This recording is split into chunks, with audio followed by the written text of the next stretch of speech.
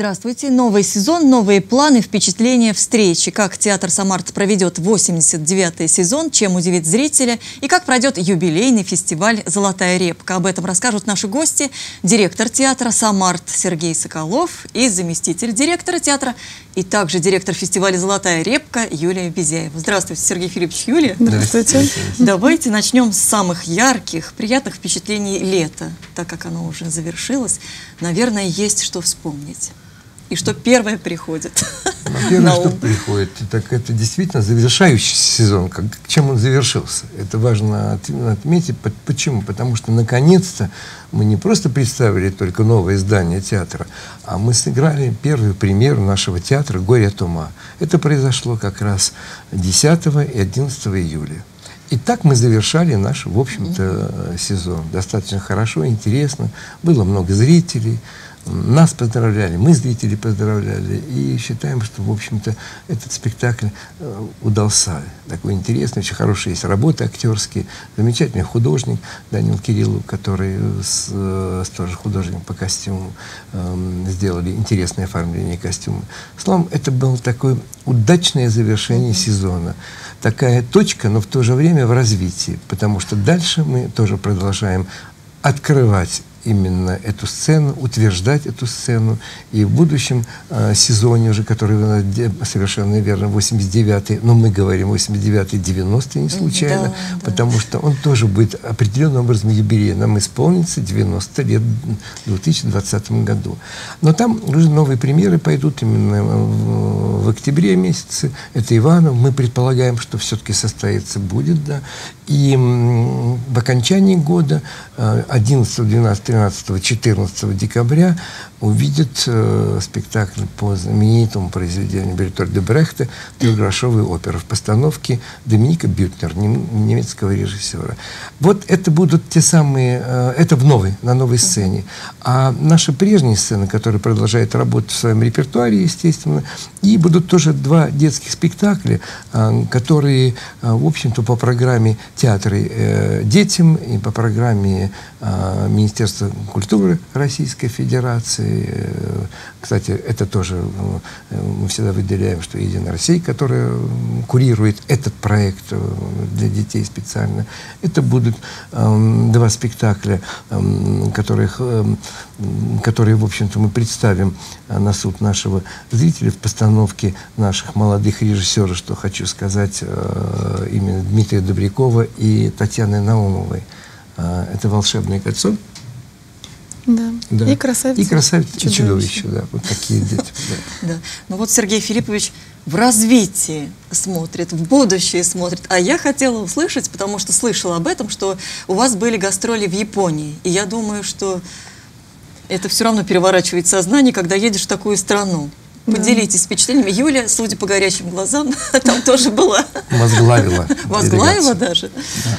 Да, была удивительная у нас поездка, замечательные гастроли. Это, представьте себе, другой конец света. 21 человек э, летит из Самары на остров Окинава. Вот, конечно, были разные приключения в пути. Вот, приятные, потому что мы познакомились э, с другой культурой. А, да, вот наши фотографии. Это мы э, у здания театра, в котором мы выступали, Национального театра в, в городе Урасое. А, значит, репетировали. Это зрители, которые собирались вот японские зрители, они очень сдержанные, поэтому мы... С... Вы, наверное, реакцию да, не могли понять, да? Да, да, очень переживали. Я сидела в зале, наблюдала за всеми, то есть такие лица без эмоций, то есть они внимательно следили за происходящим на сцене, но в финале, когда это был шквал аплодисментов, а, я не могла сдержать слез, потому что вот это все волнение, наши артисты говорили о том, что это были самые, э, вот два показа было спектакля, это были самые эмоциональные для них, то есть э, показы. Эм, Конечно. Да, настолько они тоже ждали, и такая сила была вот этой энергии в зале. А, все были счастливы. На самом деле было ощущение счастья. После двух показов, да, конечно, все были изнемождены до предела, но эм, удивительно и здорово нас приняли. Я хотел бы добавить тоже здесь в развитие э, этого действия, этого года именно. Дело все в том, что э, этому фестивалю э, в Японии исполняется, исполнилось 25 лет. четверть века. Ровно в 94 году мы открывали этот фестиваль. На первом фестивале были, да. Замечательный спектакль «День рождения кота Леопольда» и «Цыганы» уже были там присутствовать. С тех пор вот началось наше знакомство. И в пределах, наверное, уже 6-7 раз мы были на этом фестивале. Мы э, желанные гости. И сам, сам театры тоже этих фестивалей и Японии были у нас угу. в свое время. были. И замечательный продюсер этого фестиваля Хиза Симаяма, который поддерживает связь с Россией, любит Россию, любит российские театры. Поэтому там был и театр из Красноярска, который как раз тоже 25 лет тому назад и э, театр из Ростова-на-Дону, вот три театра, которые были. А, молодежный драматический театр э, наш, э, РАМ, да. И что хочу еще сказать, что этому фестивалю, значит, 25 лет, и нашему фестивалю «Золотая да, репка» да, тоже да, 25 тоже лет. четверть века. Четверть века.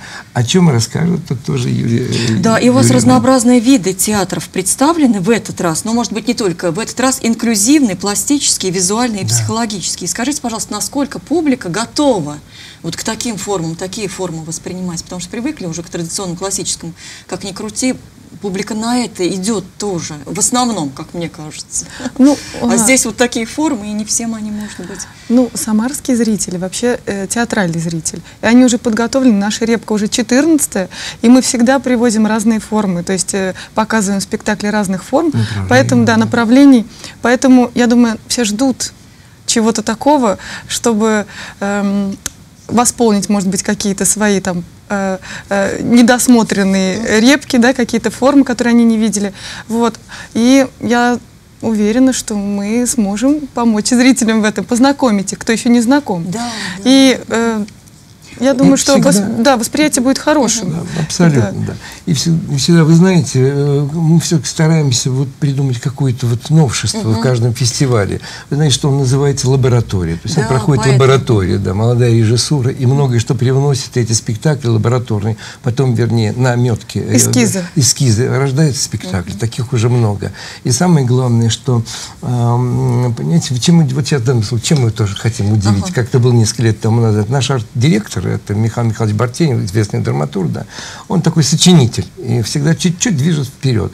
Вот несколько лет тому назад были представлены три спектакля «Алых, «Алые паруса». Так. Драматический наш театр, потом театр э, Рамт был, и один театр, если я не ошибаюсь, Екатеринбургский тоже был. Совершенно разные спектакли. То есть э, один да. спектакль, три интерпретации, да. получается, да? да? да. Вот и, и фестиваль был назван «Под алыми парусами». Ага вот подал император А сейчас у нас тоже в этом году есть своя изюминка тоже.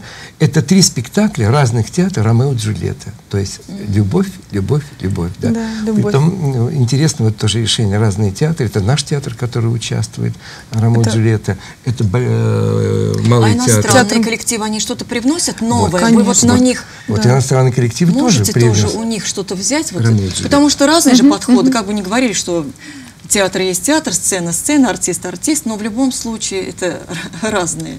Э, конечно. Вот, кстати, вот про, в продолжении э, разговора Сергея Филипповича о том, что а, а, один из спектаклей Ромео и Джульетта приводит а, коллектив из Копенгагена, да, Дания, да. да. Это будет да, в, жан, в жанре пантомимы спектакль. Mm-hmm. Очень интересный, будет проходить на площадке камерной сцены. Вот, как раз а, на, в день закрытия фестиваля 20 сентября. Да, очень вот, интересно. Да, интересно. Да, вот как представить Ромео и Джульетта только в пластике. И удивительно. Да, да.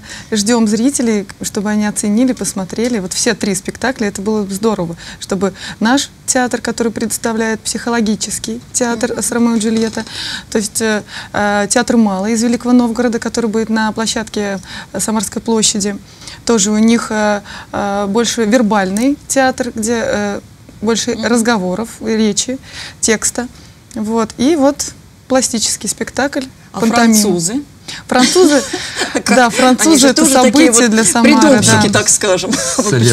Да, совместно с Альянс Францесс и французским центром э, в Москве, конечно, э, они в основном э, оказали содействие, которое и смогли мы принять у себя этот коллектив из Лиона, вот французский театр, это у нас, вот подглядываю, Nouvelle Generation. Из новое города, да. Поколение, да? да? Новое поколение. Новое пока... Наверное, да. можно так перевести. Да, может быть, у меня английский, не прочтение, там французы. Nouvelle Generation. Да, вот, наверное, точно. Это у вас даже получилось одно слово из одного языка, второе из другого. Ну, это как раз то, что происходит, наверное. Вот сейчас слияние это и происходит. Всех коллективов, спектаклей, взглядов, подходов как раз на вашем фестивале. Интернационально у нас все становится. Вот, и мы их ждем 16 сентября у нас на площадке. Это будет у нас э, проходить э, два показа. Э, тоже интересный жанр, такой новый для России, вообще, я бы сказала, потому что э, э, здесь будет э, направлен спектакль на три группы зрителей. То есть, э, э, значит, маленькие дети 8+, 12+, и взрослые. Вот. Как это будет? Вот приходите, увидите, потому что не буду раскрывать всех тайн. То есть содержание будет как-то меняться, подстраиваться под а, контингент? Под, у под, каждого под будет возраст. свой текст, я так а, скажу. Все а. будут слышать свое. Наши То есть дети, и наши артисты, артисты, да. Э, естественно, спектакль да, проходит на французском во Франции. У нас это будет проходить на русском языке, и наши артисты Озвучание. будут озвучивать. Да. Вот, э, да, интересно. Приезжает группа, работает. Уже мы записали голоса правильно, нам все подтвердили, все подошло. Вот, э, будет запись проходить у нас в театре, и потом это будет транслироваться для самарских зрителей. А вот. как, Сергей Филиппович, происходит открытие нового театрального сезона? Наверное, у вас уже сложились свои традиции какие-то, и они из года в год повторяются. Вот именно, когда вы собираетесь с коллективом, и появляется что-то новое, и вы говорите – немножечко заглядываете в прошлое и, как всегда, по вашей привычке смотрите в развитие. Вы знаете, вы, вы все рассказали, в общем практически. практически, да, потому что так и происходит. Другое дело, что мы меняем числа так.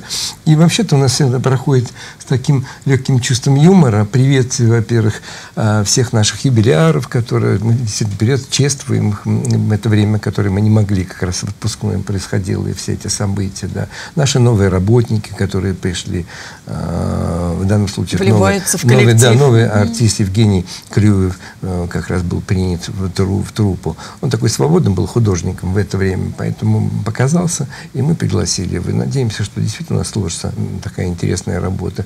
Новый заведующий постановительной части у нас явился тоже Олег Викторович, вот, которого мы представили тоже. Э, поздравили тоже с днями рождения, как всегда. Ну, рассказали о планах, прежде всего, задачи, которые определенные поставили. Старались, во всяком случае, это делать не скучно, а, с юмором, как с поездками. Совершенно верно, да, всегда. Это вызывало даже какие-то всегда улыбки, приветствия. Встречали приветствия от Адольфа Яковлевича Шапира, замечательный, который, в общем-то, тоже поздравлял. Он должен скоро приехать к нам. И еще хочу сказать вот что, остановиться на один момент. Вот так, собственно, прошло, завершилось в доброй такой обстановке, и сразу же мы ушли, как говорится, на фронт. На фронт наших театральных действий. Да. Репетиция в Большой в Новом зале Иванова, в Малых это Маугли, который мы готовим сейчас тоже к показу спектакля э, в рамках фестиваля «Золотая э, репка». И э, другие спектакли, которые, да, кстати, экспериментальные сцены, это «Одиссея», которая, да, вот это тоже уже собрана, и подготовка идет, потому что у нас три спектакля участвуют в фестивале. Но теперь об открытии фестиваля самого. Оно а произойдет... можно мы посмотрим сюжет, как прошло ваша, ваша встреча с коллективом, а потом Хорошо. перейдем уже в развитие в будущее? Самарт готов удивлять зрителей новыми постановками. Театр через несколько дней откроет новый сезон. Зрителей ждет не одна премьера. Так, благодаря федеральному проекту в рамках Года театра «Театр детям» Самарт подготовил два спектакля «Красавица и чудовище» и «Волшебное кольцо». На новой сцене, где в июле сыграли первую премьеру «Горе от ума», продолжится работа над спектаклем «Иванов» режиссер Анатолий Праудин и трехгорошовая опера режиссер Доминик Бютнер продолжит обновлять издание «Самарта» благодаря нацпроекту «Культура».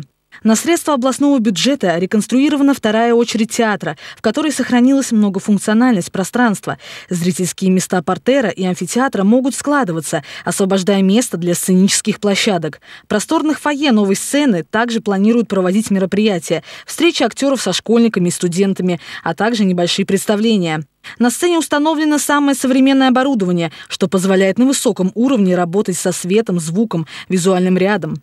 Работа на третьей очереди здания будет вестись на средства из федерального бюджета. Согласно намеченным планам, э, с мая месяца Нового года э, будет установлена работа и начнется строительство, завершающее третью очередь, которая начнется в 2020 году, а должна завершиться в 2024 году.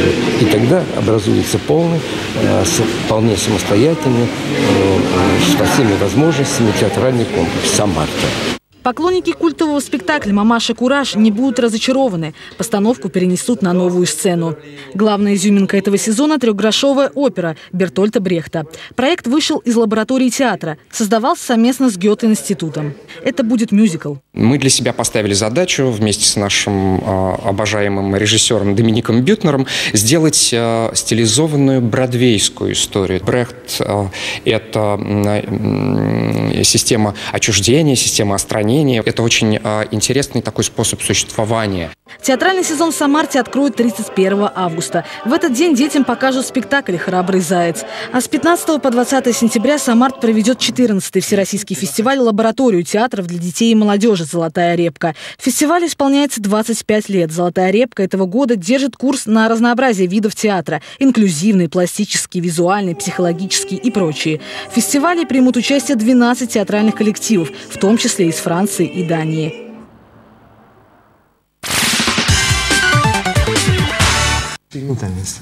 Давайте mm-hmm. остановимся на вот этих экспериментах, на направлениях интересных, может быть, где-то новых для зрителя. Вот о чем вы сказали, что вы любите и новое показывать, и таким образом э, включаете, подключаете зрителя к себе. Вот о чем можно сегодня поразмышлять, поговорить? Ну, может быть, давайте поговорим про фестивальную, да, сейчас прежде всего программу, я имею в виду, что мы нового такого, чего не было у нас угу. еще в Самаре. Вот, вот смотрите, у нас э, приезжает э, э, студия «Инклюзион» из Новосибирска. 23 угу. э, артиста летят к нам из Новосибирска, включая э, детей-инвалидов, которые принимают участие в этом спектакле. Как Со спектакля «Юшка», да. Угу. Это называется феномен обратной инклюзии, когда а, дети-инвалиды сами принимают, не только смотрят да, спектакль, когда инклюзия сейчас популярна, когда все наравне, все смотрят, угу. одинаково приходят в театр, у всех доступные условия равные. Вот. Но и вот дети-инвалиды ну, не только дети, и взрослые, да, артисты, они принимают участие в спектакле. То есть они играют, они профессиональные артисты. Вот. И вот такой спектакль у нас будет «Юшка». Спектакль э, мы ждем, будем встречать и смотреть, знакомиться с таким опытом. К тому же у нас а, работает а, не так давно, да. у нас новый сотрудник в театре появился, как раз а, который а, отвечает за инклюзивные программы в театре. У нас а, есть тифлокомментирование, у нас есть спектакль с тифлокомментированием уже а, в нашем репертуаре. А тифлокомментирование, вот. поясните, пожалуйста, что это? Это значит, э, работа со, э, со слабовидящими и незрячими людьми, когда они приходят на спектакль и могут полноценно видеть спектакль. Им раздаются специальные аппараты, наушники, где тифлокомментатор Наша Катенька. Да, наша Екатерина Аверьянова заранее записывает визуальный ряд спектакля, описывает его. Угу. Ну, допустим, например, в комнату вошла женщина в красном. Да. Она подошла и какие-то ситуации описывает э, э, голосом, речью, да, вот объясняя, что происходит. И человек незрячий, он слушает это и слушает то, что происходит на сцене. Он представляет, и даже зрячие люди, когда, которые приходят в сопровождение, они э, слушали, да, да, они, например, тоже мы им раздавали такие вот э, аппараты, э, и я тоже слушала. То есть на самом деле очень ярко получается, очень красиво. Да, и ты... двойной удар такой получается. Да, да и наконец-то у нас зрители незрячие могут прийти и посмотреть спектакль полноценно. Вот, у нас четыре таких спектакля пока, но мы еще планируем адаптацию других спектаклей. Вот. И новые сейчас появятся. Да, и новые. Вот у нас, кстати, в новой наш, нашей афише сентябрь-октябрь, да, у нас уже есть э, значки, такие наушнички на, на, рядом со спектаклем, который идет с тифлокомментированием. Пока у нас таких аппаратов 20, но мы планируем еще э, закупать, потому что э, люди счастливы, то, что мы, к чему мы стремим, зрители, да, зрители хотят идти, да, вот, и бывает даже больше спрос, чем мы можем пока предоставить. Это, конечно же, все включено как бы бесплатно, то есть это в рамках, э, зритель покупает билет, аппарат ему выдается совершенно бесплатно, он также смотрит Вообще должен сказать, что отношение к инвалидам или к маломобильным гражданам, как называют, ну вообще-то они говорят обычно инвалидам, у нас особое внимание уделяется, и даже в пространстве нашего нового здания специально предусмотрен нулевой ряд, который является как бы первым, да, где места именно специально предусмотрены людей и слабовидящих, слабослышащих, э, людей в колясочников, когда ряд может отодвигаться и закатываться коляски, удобные выезды. То есть, в общем, это направление знаете, не раз какого-то вот взяли такого, а очень важно, важного Гуманных действия, целях, да, да, да, наверное, потому что да, театр потому был что- далек от все-таки этой вот категории наших граждан, людей, детей особенно, да, и взрослых, да, хотя они очень самостоятельные все, но они чрезвычайно благодарны. И мы им благодарны, потому что они приходят к нам, да. Конечно. И вот хотела бы продолжить, э, даже не знаю в каком ключе эту тему. Вы, как человек, который занимается всегда с литературными произведениями, героями, психологией, вникает во все это. Скажите, пожалуйста, человек меняется со временем? Вот ваше мнение какое? Вообще человек Ну, меняется? Как показывает история, человек всегда меняется во все времена. И каждый раз мы все начинаем. Вот смотрели, вот ехали к вам на э, эфир, и э, Юрий говорит, ну вот э, новое что-то такое появляется, новые формы. Вы знаете, свидетели 25 лет тому, как она появлялась, эта новая форма. А сегодня я видел, в Японии тоже происходит одно из действий культурное, где участвует театр Александринский со спектаклем Валерий Фокин, вот рассказывает об этом новом тоже пространстве, решении его, такая колба, такая прямоугольник есть. Это мы видели, я говорю, если по форме говорить, и там 25 лет назад. Но сегодня тоже идет поколение, которое открывает, тоже эти шаги делает. Ну, как, собственно, и ребенок первые шаги делает, так и поколение целое делает тоже шаги и в театральном, в киноискусстве тоже многое, что открывает то, что было, может быть, уже открыто. Вы особое внимание уделили детям. И один из спектаклей «Храбрый заяц» Сергея Михалкова, да, который говорил, что значит сегодня дети, завтра народ. Вот мне просто интересно, как вы выбираете спектакль для детей? Вот на чем вы а, основываете вот этот выбор? Потому что их же много произведений, авторов и и решений. Понимаете, есть, есть что-то такое любимое нами, из нашего же детства, из нашего представления. Даже мы обращаемся к произведениям, которые когда-то, давным-давно мы сами а, ну, проходили в буквальном смысле, читали и прочее, и привносим, инсценируем, привносим в сегодняшний день. Вот одно из этих произведений, как раз «Храбрый заяц», который появился по предложению одного из авторов, ну, очень совпали наш, с нашими впечатлениями. Точно так же «Чухаха», которая идет эм, Чуковского. Да. Это тоже, в общем-то, из того времени, или зримые песни, которая когда-то была со- создана для молодежи, для поколений. Это в Тоногом, еще спектакль был студентов тостоноговцев. Мы тоже вспомнили об этом и захотели это сделать. У нас есть такой спектакль «Зримые песни». В общем-то, многое, что на подборе, но появляющаяся сегодня драматургия современная, нас тоже интересует, поэтому некоторые спектакли экспериментальные есть такие. Ну, в частности, вот экспериментальная сцена, это уже придуманное, сочиненное Одиссея. Казалось бы, да, на какое-то произведение. Да. Нет, а это, в общем-то, сделано именно из экспедиции родилась нашего э, режиссера, актера э, Алексея Илхимова и нашего режиссера, известного уже в, России, Анатолия Правдина, которые действительно начали свой дрейф по, Атланти, по Атлантике, шли на определенном таком маленьком суденышке, прошли через все испытания рифы, э, всякие разные. Путь Одиссея. Да, путь Одиссея. Подкреплено Штормы- будет. штормы, когда они себя привязывали в каюте и а, дрейфовали, и в то же время они находились у рулевой стойки. И потом, в общем, завершили, это продлилось примерно 30 дней, это было серьезное, серьезное испытание. И вот они пришли под этим впечатлениями, создали спектакль, который получил свое развитие, воплощение, и как экспериментальная сцена на нашей площадке вот будет представлен в фестивале «Золотая репка». Как и э, «Ревизор» в постановке театра «Самарская площадь», тоже удивительный спектакль, тоже экспериментальная сцена. Да. А, Юлия, я хочу попросить вас все-таки рассказать по, по датам по «Золотой репке», чтобы ориентировать зрителя, когда приходить, на что, как, когда покупать билеты, чтобы заранее подготовиться к просмотру. Билеты уже в продаже. Мы билеты постарались пораньше выпустить в продажу, чтобы э, зрители могли э, свободно, спокойно за, летний период приобрести их, да, как-то распланировать осень, да. Вот. Ну, э, начинаем мы 15 сентября. То есть 15 сентября э, у нас будет торжественное открытие вот, э, на площади Чапа- э, Чапаева и сквере имени э, Александра Сергеевича Пушкина. Э, значит, у нас э, сначала в сквере Пушкина будет спектакль уличного театра э, «Эскизы в пространстве» из Москвы, э, спектакль «Белый лес». То есть зрители могут к ним э, совершенно спокойно прийти и посмотреть его. То есть бесплатно. Это мы, это подарок э, Или фестиваля зрителям. Да, прохожие.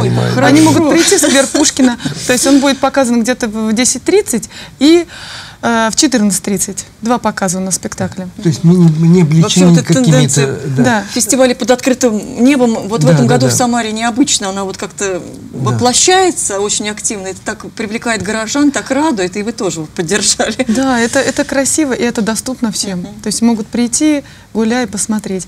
А затем мы направляемся на площадь Чапаева, где э, будет у нас, э, приедет сама Золотая Репка поприветствовать всех. Приветствовать, да, да, всех пришедших э, жителей города и гостей. И мы приглашаем всех в театр драмы, где у нас будет проходить э, спектакль «Сказка о царе Салтана» Тверского Необычный, Тюза. да. Да, очень необычный жанр визуального театра. Э, Вот. э, Будем выдавать секрет, да? Ну, во всяком случае, с использованием, использованием аппаратуры, которая есть, и которая может, в общем-то, представить, используя эту аппаратуру, разные костюмы, хотя бы вроде бы материалы все одни, а, в общем, можно делать разные рисунки. Ну, еще Юля тоже сейчас вот хотя- хотела тоже добавить, и я сейчас тоже, что будет необычное э, приветствие, естественно, Золотой Репки, которая отчитается за проделанную работу 25-летнюю. юбилей, четверть Это же юбилей все-таки, четверть века, да. Она доложит, как же это все происходило с 94 года. И здесь по придумке тоже, по предложению нашего идеолога, это Бартенева Михаила Михайловича, мы откроем памятник замечательному, изумительному человеку, э, замечательному художнику, замечательному сценаристу, постановщику. Это Танина Гуэрра, эм, э, чей образ, который создал он в «Золотой репке», буквально карандашом начертил, нарисовал эту Ничего репку. себе. Она представлена теперь у нас в фарфоре, один к одному по его эскизу. И мы откроем монумент, не говорим памятник, а монумент именно э, Танина Гуэрра. Там есть одна изюминка а, о которой мы сейчас не будем говорить, но зрители, которые придут на спектакль, они могут тоже принять участие в открытии этого монумента. Да, ну заинтриговали. Да. Вот, 15 сентября у нас очень насыщенный день, наше открытие. Поэтому, посмотрев, э, у нас будет два показа, значит, «Белого леса» спектакля, два показа спектакля «Сказка о царе Салтане». Вот, а затем мы следуем к нам в театр, театр юного зрителя Самарт, где будет показана как раз-таки «Одиссея». Вот экспериментальная сцена. Вот, ну и так завершится наш, наш день, 15 сентября. Следующий день, 16 сентября, у нас э, будет показан как раз э, спектакль э, студии «Инклюзион», о котором мы говорили, «Юшка», вот, и французский театр наш. Да, да, да. Как у вас хорошо получалось название говорить. Génération. Génération. Да, вот. Э, Значит, затем на следующий день э, у нас будет э, кукольный спектакль для взрослых. Это у нас представляет его Гоголь-центр и музей ГУЛАГа. Вот спектакль «Лауреат золотой маски». Вот у нас будет показан уже э, тоже в нашем театре на малой сцене. Э, И дольше века длится день. Да, это э, пьеса Айтматова. Вот, значит, следующий у нас спектакль а, спектакль «Путешествие» театра из Воронежа «Как дети». Он будет представлен на площадке камерной сцены. А, Тоже очень интересный спектакль о том, э, э, как дети самоопределяются. Да? То есть спектакль для взрослых э, 12+, ну скажем так, условно 12+, но о том, как человек вырастает и что с ним происходит. Как раз Да, вот о, ой, ваш- о вашем да, вопросе. как- Меняются ли Какая люди? важная тема. Вот. Но я хочу сказать, у нас просто одна минута остается до А, конца, поэтому завершайте. программа вся, наверное, есть на сайте. Конечно, да. С ней да. можно подробно ознакомиться. Сейчас это всем просто сделать, поэтому, наверное, не стоит Да, мы просто вот уже в программе все, все в репке, да, мы ждем наших зрителей, А вот, э, будет интересно, будем удивлять, потому что все ждут, да, всех удивлений, будут да, удивления, да, и немало. Вот, и э, закрывать, конечно, будем наши Маугли, которые, э, как мы и закрывали, кстати, фестиваль на Окинаве, это очень почетно, закрывать фестиваль. Э, и поэтому и у нас мы закрываем И фестиваль. будем надеяться, Да. что реакция будет такая же, как в Японии. И все Да. будут плакать тоже. Да, будут плакать. и радости. Вот, и, кстати, у нас вот есть символ нашего Маугли. Такой значок. Вот э, это, значит, цепи, которые присутствуют в декорациях, и э, красные э, вот такие платочки, которые, да, которые символизируют и любовь, и дружбу, и кровь. И, в общем, я хочу вам его Ой, спасибо. подарить, чтобы вы тоже большое. приобщились к нашей семье Маугли. Обязательно. Вот. Спасибо Прошу вас. огромное. Очень Вот. интересно. Мы, Я сразу кстати, обратила внимание. Всем, это очень оригинально. всем япо- японским зрителям всем раздавали, все принимали, просили еще, но у нас, кстати, к сожалению, не было 400, да, как, как зрителей значков. Ну, достались самым зрителем маленьким, самым, самым активным, да, самым... Ждем нашего зрителя, словом. Да, это самое главное. Э, То, для чего вы, собственно говоря, и работаете. Спасибо Да. вам большое, успехов, прекрасных сезонов, хорошей отдачи от зрителя, ярких впечатлений. И вам. Я Спасибо желаю вам. и зрителям тоже, горожанам приходите. Мы все там увидимся. До Да, свидания. встречаемся на репке.